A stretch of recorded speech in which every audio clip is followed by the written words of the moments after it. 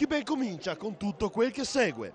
Un Eurogol di Hannes Fischnaller regala il successo al mezzo Corona contro il Sarego nella prima giornata del campionato di Serie D. La squadra di De Agostini vince e convince contro i vicentini dell'ex Bobo Simoni e il risultato finale non rispecchia del tutto quanto visto sul sintetico di via Santa Maria, perché i gialloverdi hanno fatto la partita e il bottino finale avrebbe potuto essere molto più cospicuo se Monti e compagni non avessero peccato di imprecisione in fase realizzativa. Il primo sussulto dell'incontro di Marca Vicentina al quarto Sandonà prova la conclusione da 20 metri, con palla che però si perde abbondantemente alta sopra la traversa. Poi solo mezzo corona. Migliorini e Fischnaller a metà campo fanno il bello e il cattivo tempo, assumendo il controllo delle operazioni e costringendo il Sarego a ricorrere spesso al fallo.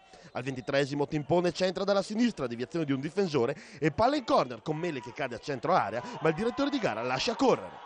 Un minuto più tardi Tomasi trova il varco giusto sulla destra e crossa rasoterra con il portiere Vicentino Marcon che in presa bassa anticipa gli attaccanti di casa.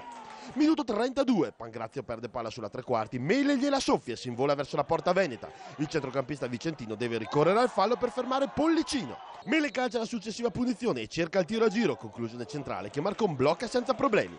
La squadra di Agostini spinge sull'acceleratore al 36esimo Pasquetti centra dalla destra, Marcone esce a vuoto, batte e ribatte in area di rigore Veneta con pivotto che di testa salva sulla linea. Non trascorrono nemmeno 60 secondi che il mezzo ha un'altra occasionissima per passare in vantaggio. Apertura di Fischnaller verso destra, Tomasi anticipa Benetti e si presenta tu per tu con Marcon, ma impatta malissimo con la sfera e da ottima posizione sparacchia altissimo. Tra il finale di primo tempo e l'inizio di ripresa, l'incerto direttore di gara Geller di Parma, grazie per due volte Pangrazio, che al 52esimo viene finalmente avvicendato da Vianello. Nella ripresa il mezzocorona spinge fortissimo sull'acceleratore, al 55esimo Monte di testa spedisce sopra la traversa e sugli sviluppi del tiro dalla bandierina Marcon deve inercarsi per deviare il sinistro a rientrare di Pellizzari. Il mezzo fa le prove generali del gol al 58esimo, gran destro dal limite di Fischnaller e ottima risposta in tuffo di Marcon. Tutto molto bello ma si può fare molto di più e infatti quello che succede al 61esimo è semplicemente sensazionale.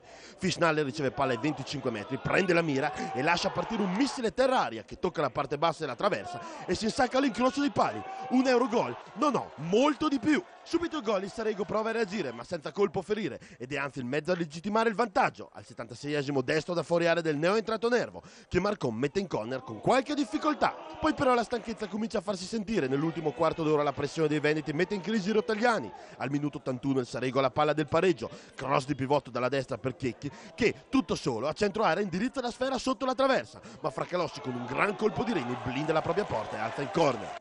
Il mezzo rompe il forcing avversario all'86esimo con il tiro cross da sinistra di Pellizzari che sfiora il palo e si perde a lato di un soffio. Finisce dopo 4 assurdi minuti di recupero. Se il buongiorno si vede dal mattino, questo mezzo è veramente tosto. Le altre sono avvisate.